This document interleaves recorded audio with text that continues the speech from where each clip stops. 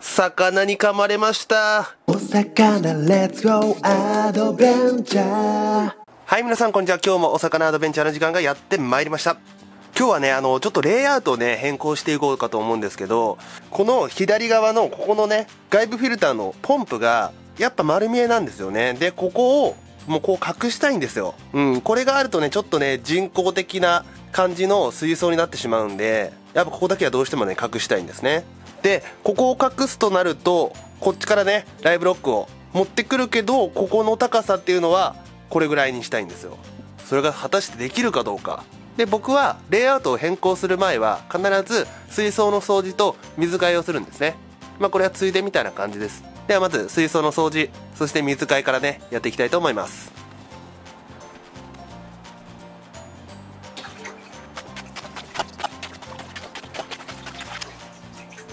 で今掃除が終わって水をね3分の1抜きました。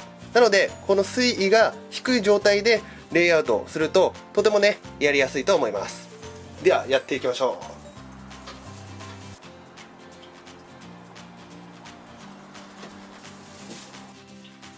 これで今ねレイアウトが完了しましたのであとは水をね足していくだけです。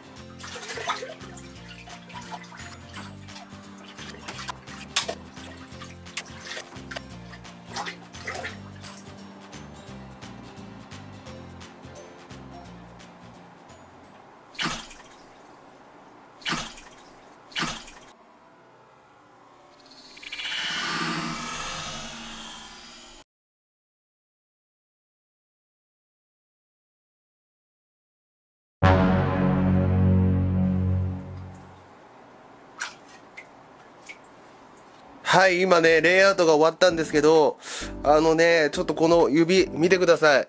ちっちゃくこれ、なんか点みたいな感じで、ちょっと赤くなってますよね。魚に噛まれました。ミスジ琉球スズメダイっていうね、あの、パンダ色をしたね、魚なんですけれども、噛まれました。マジでこれ初めてです。噛まれたの。本当にね、貝魚に手を噛まれるってことわざあるかわかんないんですけど、それの感じですね、これ。最悪っすわ、これ。ここ。で、こっからね、ばい菌が入って、パンパンに腫れて指を落とすことになったらね、大変なんで、ちょっとね、消毒をね、してみたいと思います。もうやばいわ、これ。初めて噛まれました、ほんと。あー、もう消毒しないといかん。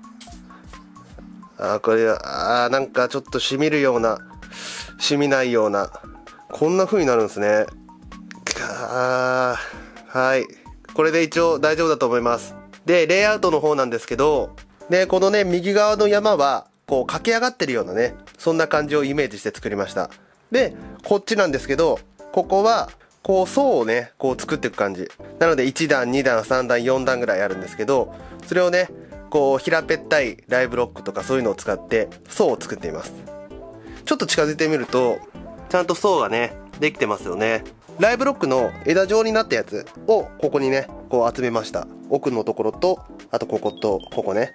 枝っぽいやつを一箇所に集めて、まあ雰囲気をね、出しました。で、ここね、空洞になってて、で、奥にもね、こう行けるんですよね。なのでここ多分魚の住処になります。で、このね、水槽の右側の山は、ここがね、こう駆け上がっていく感じ。上にぐーっとね、こう駆け上がってますよね、上に。逆にこの上から、ここ、ここはね、なだらかにしました。で、さらに、ここね、空洞をね、つけました。なんて言うんだろう、こう、奥がね、見えた方がいいと思うんで、こっちもね、あの、隙間は空いてるんですけど、こっちだけじゃなくて、こっちもね、隙間を空けることで、こう、息苦しくないというかね。うん。レイアウトする前は、ちょっとね、ここがごちゃっとしてね、と、あの、厚みがありすぎたんで、ちょっと息苦しい感じがあったんですね。ここを少しね、空洞を作ることによって、息苦しさというかね、ごちゃごちゃした感じがなくなって、もう爽快感って感じです。海といったらやっぱ爽快な感じなんでね、爽快感で作ってみました。で、ちなみにこのレイアウトにかかった時間は、約1時間半です。いつもだったらレイアウトとかね、手を抜いて、で、また気になったところをこう直していくって感じなんですけど、これからサンゴとかたくさん買って、もう設置した状態にすると、動かすのがね、かなり大変になるんで、サンゴとかをね、たくさん買う前に、ある程度ね、レイアウトちゃんとした形でね、決めておこうと思って、まあ、時間をかけてね、やりました。